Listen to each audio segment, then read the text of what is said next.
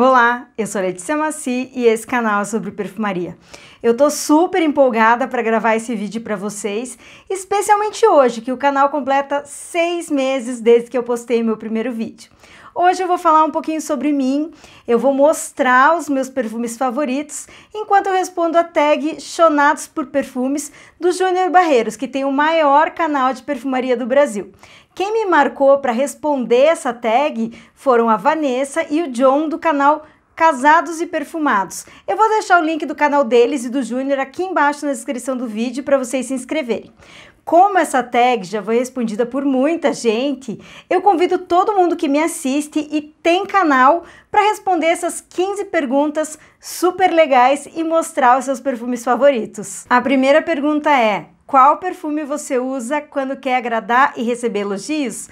Nesses casos, eu uso um perfume muito especial para mim, o La Nuit Tresor da Lancôme.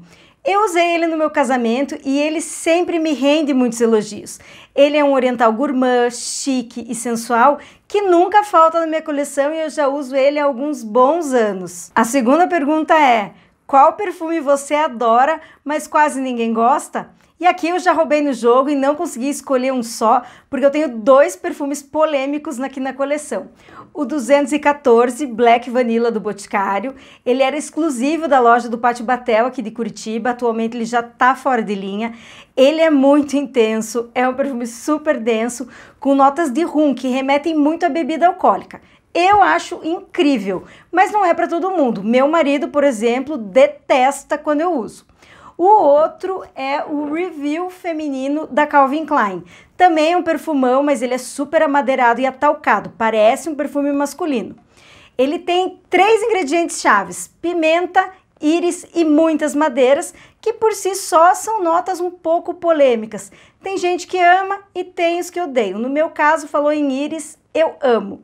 Eu comprei na minha primeira viagem para os Estados Unidos, foi a primeira viagem internacional que eu fiz com meu marido, quando a gente ainda era namorados.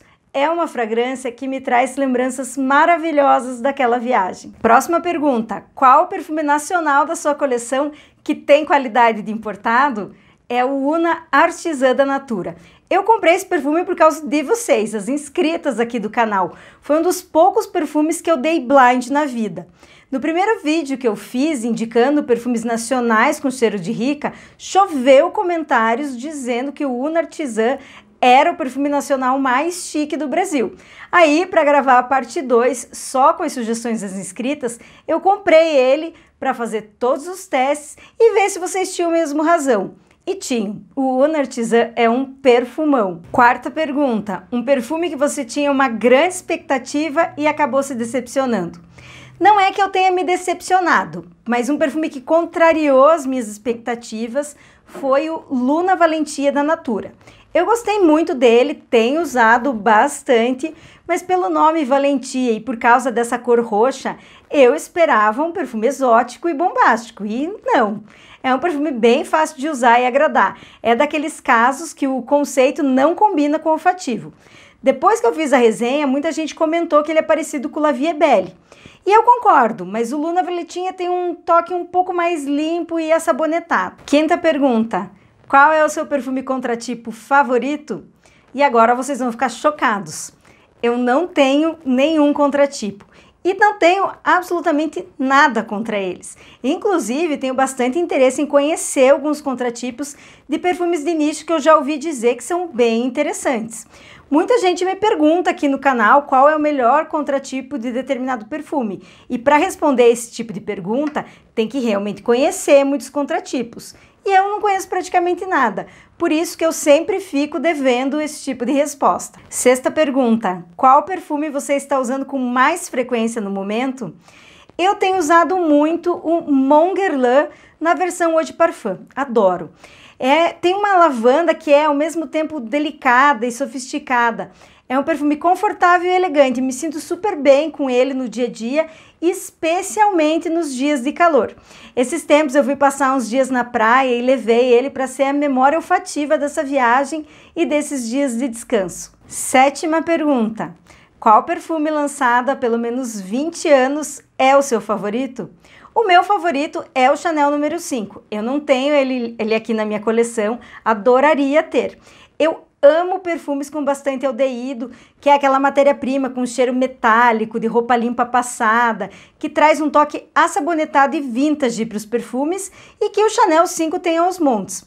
Mas o perfume mais antigo da minha coleção é o L'air du Temps de Nina Ricci, que foi lançado em 1948 para celebrar o fim da Segunda Guerra Mundial. Por isso, na tampa tem duas pombinhas que simbolizam a paz. É um perfume bem vintage e atalcado e que teve olfativo muito copiado em uma série de produtos de beleza do século XX, como cremes, talcos e outros perfumes. Então, vocês já devem ter sentido esse cheiro por aí. Oitava pergunta: um perfume para usar na balada. Faz muito tempo que eu não vou em nenhuma balada, nem me lembro quando foi a última vez. Mas se eu tivesse a oportunidade de ir em uma hoje, o meu escolhido seria o Good Girl de Carolina Herrera. Um dos favoritos da minha coleção, já falei sobre ele em vários vídeos, inclusive vou deixar todos os links na descrição desse vídeo para quem quiser assistir as resenhas completas dos perfumes que eu estou falando nessa tag. O Good Girl é um perfumão com muita tuberosa, minha flor branca favorita. Perfeito para se destacar. Eu uso muito em casa mesmo, quando eu quero chamar a atenção do marido. Nona pergunta: qual é o perfume mais barato e qual é o mais caro da sua coleção? O mais barato da minha coleção é o Pur Blanca da Avon. Esses dias eu fiz uns testes aqui em casa de passar o Pur Blanca em cima do Absolute by Exclusive, que é super amadeirado e intenso, com muito oud. Ficou ótimo, deixou o Absolute mais feminino e mais versátil. Então, se você tem algum perfume muito forte que você não esteja conseguindo usar, vale a pena tentar um layering com Pur Blanca. Passa o mais forte primeiro e depois o Pur Blanca em cima.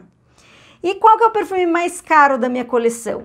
Eu ainda não tenho nenhum perfume de nicho, mas adoraria ter. Esses dias eu fiz a masterclass sobre a marca Creed com Fábio Navarro e me apaixonei por várias fragrâncias da marca, mas ainda não tive coragem de comprar nenhum. Se vocês quiserem, depois eu posso gravar um vídeo resumo comentando um pouco sobre a Creed e as principais fragrâncias da marca. Me digam se vocês gostariam de ver esse vídeo aqui nos comentários. O que eu tenho de mais caro aqui é o combo do perfume Jador com esse gel corporal perfumado que deixa essas partículas douradas na pele. Adoro usar os dois juntos, o cheiro fica super intenso, quase sufocante. Décima pergunta: qual é o seu decan ou amostra de perfume que você quer transformar em frasco? Bem, quase todos, né? Brincadeira, um que eu tô namorando muito é o novo Jador Infinissime. Eu tenho um Decan, usei inteiro, fiz resenha sobre ele aqui no canal. E como ele é uma versão do Jador, que em vez do Jasmine, a protagonista é a tuberosa, que eu adoro, eu tô com muita vontade de comprar o frasco grande dele. Pergunta 11. Qual perfume você prefere usar no calor e qual você prefere usar no frio? Para o calor, eu amo o Aqua di Gioia de Giorgio Armani. Esse aqui já deve ser meu terceiro frasco, mas eu confesso que eu já ando um pouco enjoada das notas aquáticas dele e curtindo mais as notas aromáticas de lavanda do Monguerlain. E no frio, eu gosto de usar o Olympia Eau de Parfum, que aliás eu só consigo usar no frio, na verdade. Em mim ele fica super doce, muito intenso, tem que estar tá super frio para que eu consiga usar ele e me sentir confortável. Pergunta 12: Qual perfume você sente cheiro e te faz lembrar de luxo, poder e riqueza? Para mim, o cheiro da riqueza são os perfumes chipres. Eu tenho alguns aqui, como é o caso do Miss Dior, que é um chipre floral, mas nenhum tão chique e poderoso como o La Panthère de Cartier.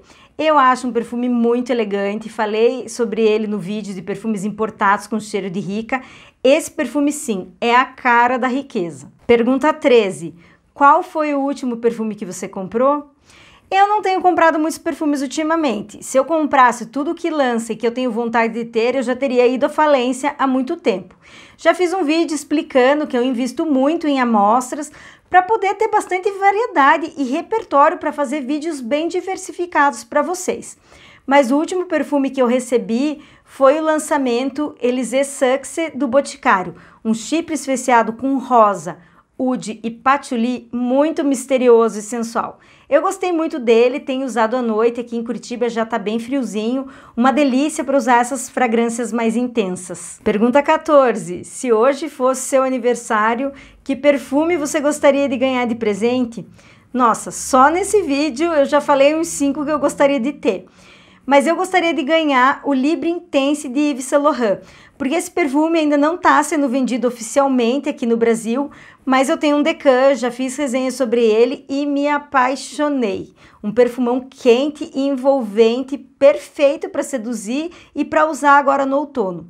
Faz uma dobradinha muito legal com o Libre tradicional para usar como assinatura no dia a dia e o Libre Intense em momentos especiais. Adoraria ter os dois. E infelizmente a última pergunta. Eu adorei escolher esses perfumes para responder essa tag e reviver várias lembranças e sentimentos que eles me trouxeram. A última pergunta é: qual perfume transformou você em uma chonada por perfumes? Eu me apaixonei por perfumes quando eu senti o Dolce Gabbana Red, o da caixa vermelha veludada. Apesar de ser um perfume de 1992, eu comprei o meu primeiro frasco em 2008, quando eu morei em Barcelona, depois da faculdade para fazer uma especialização. E desde então ele nunca faltou na minha coleção. Eu tive vários frascos dele até 2016, quando eu não encontrei mais para comprar. Infelizmente, esse perfume saiu de linha, foi substituído pela versão por Femme, uma versão mais moderna que perdeu exatamente o que eu amava, o toque vintage e assabonetado dos aldeídos. Quem nunca ficou com o coração partido depois que seu perfume foi descontinuado, não é mesmo? Mas bola para frente porque tem muitos perfumes maravilhosos para a gente ainda descobrir.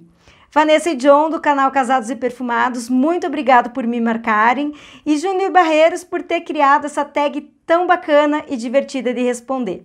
Fica o convite para todo mundo que tem canal responder essa tag. Vou adorar saber quais são os perfumes favoritos de vocês.